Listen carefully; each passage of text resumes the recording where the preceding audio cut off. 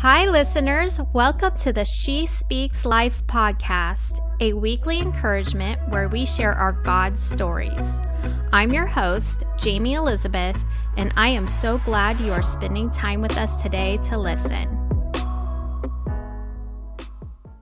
Hi, listeners. Welcome to She Speaks Life. I have a special guest with me here today. Her name is Cassie Sabin, and we have had an awesome morning so mm-hmm. far. She has cut my hair. She's a fantastic hairdresser. I just love her. She is such a great woman of faith, and you guys are going to love her. So I just want to welcome Cassie. Hi, Cassie. Hi, Jayme. Thanks for having me. You're welcome. I'm so excited for you to share your God story, your testimony of how you saw God work in your life and I just just looking forward to how the listeners are all going to get encouraged and inspired by what you have to say. So, tell us a little bit about yourself. Okay, so I have two little girls, mm-hmm. 2 and mm-hmm. four. Their names Amelia and Sylvie. Um, they're precious, of course. And I have a husband, Nick. We've been together for about eight years, and we moved to Austin a little over three years ago. And so my story kind of starts almost there. We actually were trying to move back to Cleveland about a year after we moved here. And we were ha- trying to have all of our friends pray, help us find a job in Cleveland. We want to be by family.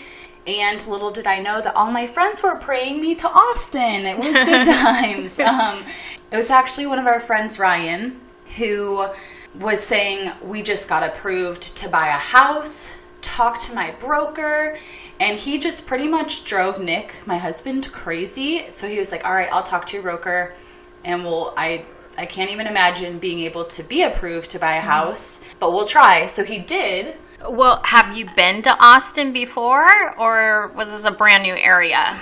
Well, we had moved when we moved from Nashville, Tennessee to mm-hmm. Austin. We moved right to the Austin area. Um, it was right near the domain. Mm-hmm. But no, we didn't know anything about the area. We had been here a little under a year. Okay. Yeah. So we were like, I can't imagine being able to be approved because we are one income. So we're like, mm-hmm. sure, we'll try to buy a house. So we got pre approved, which was crazy. And then it was like, okay, well, I, I guess we'll start house shopping because we're, we're here. You know, the, the whole getting a job in Cleveland thing didn't really work out. And um, we just wanted to be where God wanted us to be. And so we started searching and don't know if you people know this about the Austin area, but it is expensive, mm-hmm. like crazy expensive, and we didn't want to be house poor. So it's like little miniature California it's turning mm-hmm. into with um, you know, Apple and Amazon and Google all being here. Um, so we really didn't think it'd be possible to find something in our price range. So when we were praying for a house, we wanted to be somewhere close to our church. And that was in Cedar Park, just a little bit north of Austin and we searched for probably like I don't know, two months maybe, and we found a few houses and we tried to put offers in on them. They didn't pan out, and then we found this adorable little house. It was in this cute little neighborhood, and I mean, I really loved the house, and it was at the very tippy top of our price range. Like, it would be a big step of faith just to be able to afford the house payment. So we were like, okay, God, we know that you're calling us to Austin. Is this where we take our step of faith? And so our offer got accepted, which was crazy because in Austin you have to like bid like over the asking price and we got approved and then you know there was back and forth whatever negotiations and there was a few repairs that needed to be done but the inspection went great and we're going through the process and my husband just keeps on getting i mean he was really nervous he did not feel comfortable and i i didn't know what to do because i wasn't really hearing god's voice at the time. So i was just like i don't know. I i trust i feel like we're supposed to go forward but that's just you know that's just kind of what i'm feeling. I'm not having any crazy confirmation so we were calling our pastors and it was like well if you're going to be house poor don't do it. And i was like well we wouldn't quite be house poor, but it definitely wouldn't be going out to eat every night or anything. Yeah. We definitely would be stretching our budget right. to the max. So we kept on pressing in and kept on having conversations about it. And then, you know, I was like, I want to try to move forward, but if you do not feel comfortable with this, then your like comfort matters more to me than getting this house because another house will come. Whatever you want to do, like I trust you, like I trust you to lead our family. And his mom, Nick's mom, my mother in law, was in town at the time. And she woke up in the morning and she's sitting at the table, the kitchen table, and she starts sobbing. And we're hmm. like, Did someone die? What is Right. going on? What is happening? And she's like, Nicholas, I just feel so strongly that God is telling me that you are supposed to move forward with this house. And I was like, okay, yay. I'm so excited. I love this house. And Nick was like, okay, well, if you're saying it and Cassie's feeling it and God's telling you, then let's let's just keep on going. So fast forward about two weeks, and it's the day we're supposed to sign the papers to get the house. And our real estate agent calls us and he says, There's a problem with the loan. It's not the right type of loan. It's not a first time home buyer's thing. Mm. There's like all these extras that you get for Right. that certain type of loan. And so the loan wasn't going to be going through the way we thought it was going to be able to. We would have had to pay like 10 more grand out of pocket, which Oh we my just, gosh. yeah, Yeah. which we absolutely did not have. So we sat on it. We're like, okay, well, we're gonna we're gonna think about this, and we'll call you back. And so we thought about it. We prayed about it, and Nick's like, that's not a good deal. I definitely don't want to do that. And I'm like, okay, like I don't blame you. Like this is crazy. This is clearly a shut door, God. Like we just want to be where you want us to be. We called our real estate agent the next morning. Hoyt, you're amazing if you listen to this. and um, we're like, hey, I'm sorry, but we can't go through with this house. And he felt so bad. But, you know, since we didn't back out earlier, we got to keep, we got all of our money back. Um, you know, the earnest money and our, um, any of the other little fees and stuff you have Right. to pay. Um, we got all of that back, which if Nick would have backed out a few weeks previously, all that would have been gone. Wow. Yeah. So we're telling Hoyt, nope, we can't go through with this house. It's it's not a good deal. And he's like, I understand. He's like, well, you know, let me know if you guys want to start viewing houses again or if you want to take a break. And we're like, okay. So we're a little bit sad, but we're like, okay, very clearly a shut door, no big deal. And I walk inside. We had the phone call outside away from the children because it was a very serious conversation and they like to scream and yell and all the cute children things. And Yes. um, They're adorable, by the way. yeah. Uh, I mean, I think so too, but I Yes. know I'm biased. so we go back inside, and I'm like, Nick's like doing something in the bedroom, and I'm like, I'm just gonna hop on the computer really quick because I love house hunting. It's the most fun ever. and so I open the computer up and I just search house in Cedar Park for sale. And we were looking for something which was like nearly impossible, as I'm sure you can imagine. Yeah. So this house pops up that we're sitting in right now, mm-hmm. and it was twenty six thousand dollars less. And it was, I mm. mean, we can almost throw a baseball to hit our church. And if you remember, that was my prayer to be close to the church. Yes. And I was like, Nick, I'm screaming for him. Nick, get out here.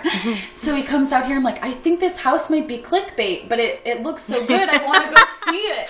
Clickbait. Yeah, I love it. Yeah, because they're that's there Yeah. too. Because Yeah. people just outbid each other. It's Right. craziness. So I was like, I'm calling Hoyt. I'm like, Hoyt, I want to see this house. Mm. I'm like, this is crazy. So he's like, cool, I can show it to you guys at three o'clock this afternoon. And I'm like, okay. And Nick's like, well, I'll be at work, but go ahead and go and look at it. And you know, his mother was in town still, so she was gonna come with me and we went here and i mean the backyard it's like on a third of an acre in cedar park which is like also another impossible thing because all the lots are like postage stamp size. Big developments and this was mm-hmm. like the last like old school kind of neighborhood. No cookie cutter houses on this street. It's mm-hmm. very like this house was built in 79 but we walk in the house. I mean, the worst thing about it is like, oh, we need to replace this bathtub, but you know, no big deal. We Right. can do that. And the house had been on the market for 13 days, which another little tidbit about Austin housing market is that houses get bought like the first day. So it felt mm-hmm. impossible. And I'm like, let's just put in an offer. Like, let's do it. I love it. You know, I FaceTimed Nick while we were here.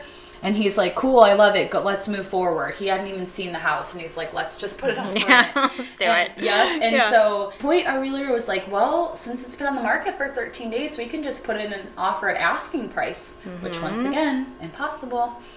and the lady like we put in our offer and the lady wrote us back the next day it was a friday and she's like i accept your offer and we're like holy cow Yeah. are you serious? Like this house is happening right now. It's like 30 seconds from the church.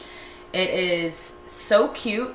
It's on the smaller side but i don't mind. Less to clean and the inspection, there was like one or two little things that the people paid for. They paid for our first year of home warranty. I mean, Wow. this house is, yeah, I- Yeah. it's literally impossible. Yeah. I mean, this house seems impossible. And this house is so super cute. I mean, it's just like great size. Your backyard is enormous. It's just adorable. Great location. yeah. Yeah. it's incredible and um it's it's such a blessing and if if god didn't give us this house i wouldn't be able to do nearly as much as i do for the church i mean because i'm right there i'm able Yeah. to just pop on over Yeah. for every little thing to Yeah. serve with um, so yeah it's been amazing Yeah. So tell me a little more about maybe ministry life and all that.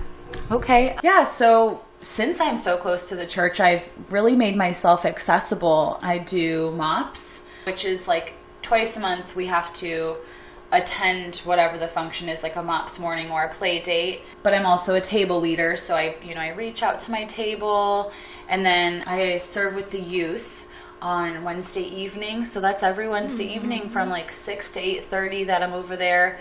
And then I, re- I recently started doing team restore training, which is kind of like a really cool kind of niche ministry um, that just encourages people to have you know vertical conversation with God. They just help people find God's voice, and it is the most fun. Talk a little more about your your spiritual journey. Where were you at as far as just your relationship with the Lord during the time that you got this house? Where did God reveal himself to you and also maybe how you got to the point where you felt like God was leading you to ministry? So we moved into this house in August, and the June beforehand, we had um, Pastor Benny Perez at our church, and he spoke a word to me and my husband. He said, "You," he said something along the lines of. You are in a season of acceleration and tremendous favor, and he's going to. He said something about moving mountains over the next year. And so Nick and I were just kind of like, okay, awesome. What does that mean? Yeah. So, I mean, between June and August is when all of this crazy house story happened. And so when we moved in here in August, I was like, I feel like this house is such a gift from God. You know, I was already doing like little devotionals in the morning mm-hmm. while all of this has been going on. But I really started to press in mm-hmm. more. After I got this house, I was able to open up, you know, now that I have a mm-hmm. home that God gave me, like I want to use it to open up my home to have friendships and you know invite people in and so i started off mop training. Actually jayme you kind of pulled me into mops. Like Yeah. cassie you'd be great for this. Come on in here. And i'm like what is mops? Yeah. and so you know there was a few women that were interested in leadership with mops. And so we had like a little a couple of meetings when we were trying to figure out what mops would look like at expression church and those same women you know we were all talking and i was like well do you guys want to come over i live like 30 seconds away from the church and so i had a group of like five moms come over and my whole life I've never had a big group of friends, so this was yeah, it was so fun. Um, Yeah. So it was really special to just see my home filled with like, you know, there was like seven or eight children and like five moms, and my house is like eleven hundred square feet, so um, it was cramped, but it was so much fun, and Yeah. I I know that having those relationships, it was like iron sharpens iron, and it really is what just threw me into this acceleration that word that was spoken over us. You know they just encouraged me and we prayed together mm. and you know talked about all those ups and downs and just like really partnered with each other on life. And then we started mornings that following january and i started another bible study with another woman from our church and it was just like I just kept on getting hungry and hungrier for God. Mm-hmm. And it was like I couldn't get enough time in my Bible. Mm-hmm. And and so just through that that hunger and mm-hmm. that diligence. I mean, mm-hmm. I was like spending I'm sorry, children, but I was spending like an hour a day in my Bible in Bible Yeah. studies. Yeah, That's kind of that's like our our alone time with God. You know, that's Yeah. our me time, and Yeah. you're spending it wisely Yes. by spending it with God. Yeah, so that's sure. awesome. Yeah, it was really great. And I still continue this. Now it's kind of, you know, changed into something different. I feel like it's always like a morphing time with God. It goes to prayer and then like listening and more devotionals. I actually just looked on my YouVersion app and I've done 92 devotionals in the past year, which if you guys don't Wow. already do it, um, Yeah. those YouVersion devotionals are amazing. Mm-hmm. The Yeah. YouVersion Bible app and it's really Yeah. fun. There's so many great devotionals on there. So yeah, I feel like just through all of that time with God is what has drawn me into ministry and I felt him pulling me certain directions and mm-hmm. just trying to listen and to be obedient. Just spending quiet time with God is probably the thing that helped draw me into ministering to other people. Yeah. Yeah. Yeah.